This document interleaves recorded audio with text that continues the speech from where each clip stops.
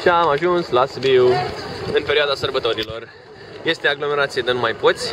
Uh, loc de parcare cu greu în spatele unui, unei săli a teatrului Radu Stanca, unde ne-a dus Diana, aici de față. Ea știa unde să ajungem. Și acum mergem spre piața mare, unde e cu tot târgul de Crăciun, luminițe, chestii mișto. Tot în Sibiu este super, super înghesuit, aglomerație.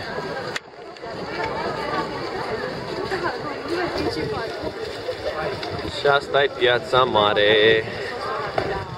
Să vedem cortulețul. Wow.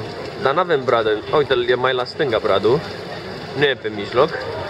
Inițial credeam că e pe mijloc, din pozele tuturor prietenilor care au mai postat, dar nu. Se pare că avem un mare stâlp și să intrăm în nebunie, zic.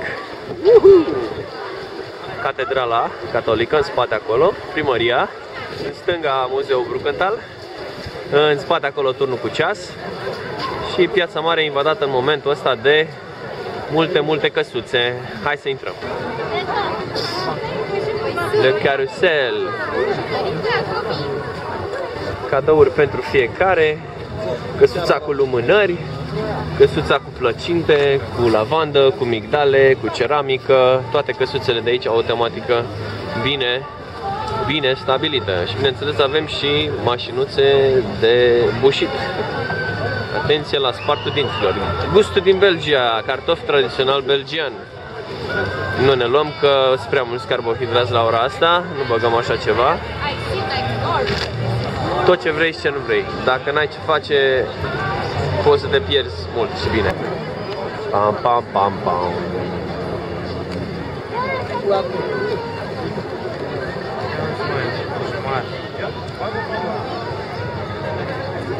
Mare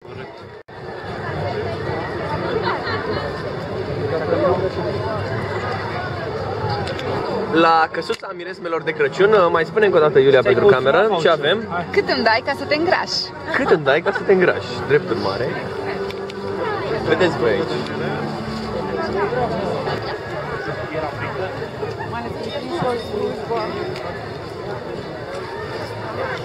Păi și asta, băiatul a putut până mâine.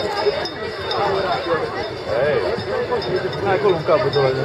Aici văd că nu mai